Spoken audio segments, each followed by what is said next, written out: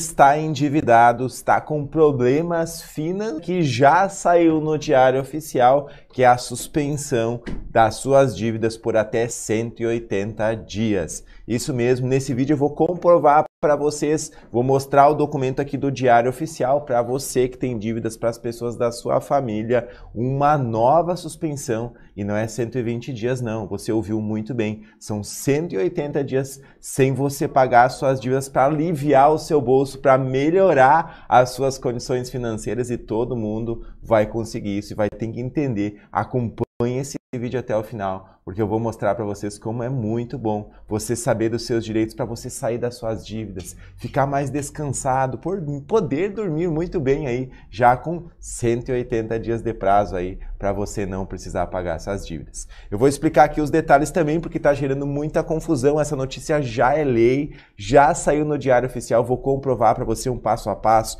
como você vai poder fazer isso aí, como é que você vai negociar essas suas dívidas e ainda eu vou falar dessa suspensão que não é de 180 dias, é de 120 dias também, que está gerando uma grande confusão. É 120 ou é 180 dias? Não se preocupe, eu vou explicar para você, você vai me agradecer de ter assistido esse vídeo, porque vai melhorar suas condições financeiras. Meu nome é João Adolfo de Souza, eu sou especialista em finanças e você está na João Financeira TV, o maior canal de financeira do Brasil. Portanto, se você que está do outro lado gosta de saber dos seus direitos para você não perder mais dinheiro por falta de oportunidade, não perder mais dinheiro por falta de informação também, para você vídeos, ver vídeos que nem esse que vão ajudar você, vão ajudar a sua família a ficar mais feliz, ficar mais tranquilos. Afinal, cerca de 80% das pessoas estão endividadas. Você também tem problemas financeiros? Você também gostaria de saber mais os seus direitos para melhorar a sua condição financeira? Registra aqui você que tem claro, você está com problemas financeiros? Coloca aqui no comentário que eu quero saber mais sobre você, qual a sua cidade, a sua região. E agora já me acompanhe nesse vídeo até o final, porque eu vou mostrar para vocês os dois detalhes. Já que está gerando uma confusão. João, Todo mundo falava em 120 dias, agora é 180 dias e já virou lei. Sim, é uma suspensão um pouco diferente e você precisa entender a diferença entre as duas, porque são dois. Um é um projeto de lei e o outro é o que já está valendo, que é o que eu vou explicar para você. O primeiro, que é o projeto de lei que eu vou falar para vocês, é o 1320, é o 1328 do senador Otto Alencar. Esse projeto ele também já foi aprovado. Porém, esse de 120 dias, que ele ainda é um projeto, esse aqui ainda precisa passar na Câmara dos Deputados. Mas eu vou falar já do que já está valendo para vocês entenderem bem. Mas não se confundam, pois esse projeto 1328 aqui do senador Otto Alencar, que aprovou no Senado Federal, remete-se aos empréstimos consignados dos aposentados, pensionistas, servidores e militares que iriam, poderiam ficar 120 dias sem pagar esses empréstimos durante 120 dias. O que acabou não acontecendo, porque aprovou no Senado Federal, todo mundo ficou nessa expectativa e continua na expectativa, não foi para a Câmara dos Deputados e aí a pessoa ficou esperando, João, não vou poder, não vou poder. Essa dos 120 dias ainda não pode, não. E é o que eu vou trazer agora para vocês. Eu vou mostrar o diário oficial, eu vou explicar essa nova lei, que é a Lei 14.181, que é 180 dias. Então o prazo é ainda maior, mas é claro, você tem que entender o processo, como você vai fazer para solicitar tudo isso. Então vai ser fundamental você acompanhar essa parte do vídeo agora. Já gruda na tela, você que colocou aí a sua cidade, a sua região que diz que está com problemas financeiros, é o que eu vou mostrar para vocês. Então, na tela com vocês aí, a lei de número 14.181 do dia 1 de julho de 2021, exatamente isso aí. Então essa lei ela se tornou já oficial depois que saiu no diário oficial e as pessoas estão perguntando, João, como que eu vou fazer agora? Qual que é o processo completo para mim poder ter acesso a isso? Então eu vou partir no artigo 104A dessa lei, vocês vão poder acompanhar aqui comigo artigo 104A. Vocês vão descer aqui junto comigo, vão estar na tela o requerimento do consumidor superendividado, pessoa natural, e diz assim: o juiz poderá instaurar o processo de repactuação de dívidas com vistas à realização de audiência conciliatória, presidida por ele ou por conciliador credenciado no juízo com a presença de todos os credores de dívidas previstas no artigo 54A desse Código Civil, no qual você, né, o consumidor, apresentará uma proposta de plano de pagamento com prazo máximo de cinco anos.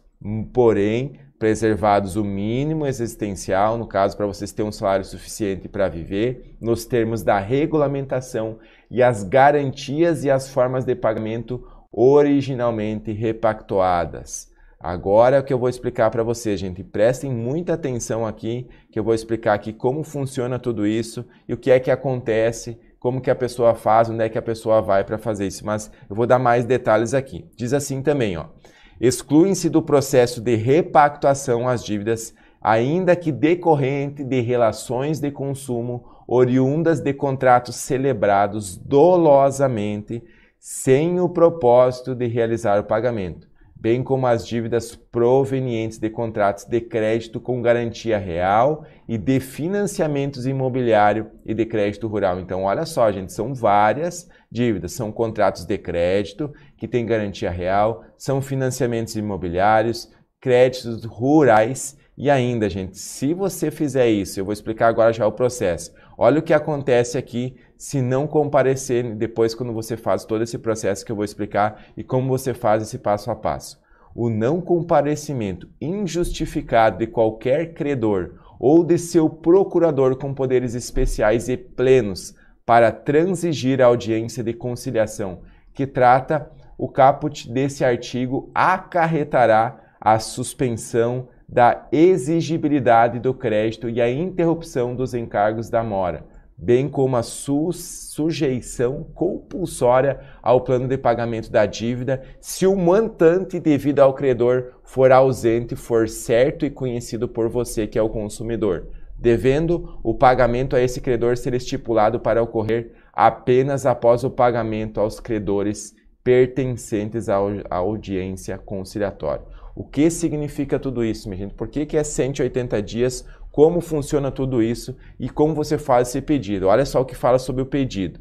O pedido do consumidor a que se refere esse artigo não importará em declaração de insolvência civil e poderá ser repetido somente após dois anos, contando da liquidação das operações previstas no plano de pagamento homologado sem prejuízo de repactuação eventual. Como funciona, explicando de forma mais fácil para você que está do outro lado. Você é aposentado, pensionista, você tem pessoas aí que são da família que querem saber desse prazo. Tem mais um item importante aqui antes de eu dar os detalhes mais simplificados para você entender ainda melhor. Depois você vai poder voltar esse vídeo e assistir ainda mais para você fazer esse acordo se você tem isso.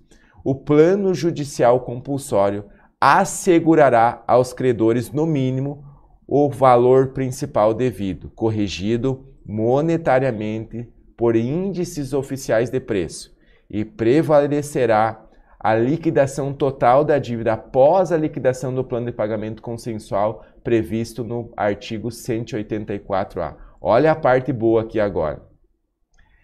No Código 184A, no máximo 5 anos, sendo que a primeira parcela devida será no prazo de 180 dias, contando de sua homologação judicial, e o restante do saldo será devido em parcelas mensais iguais e sucessivas.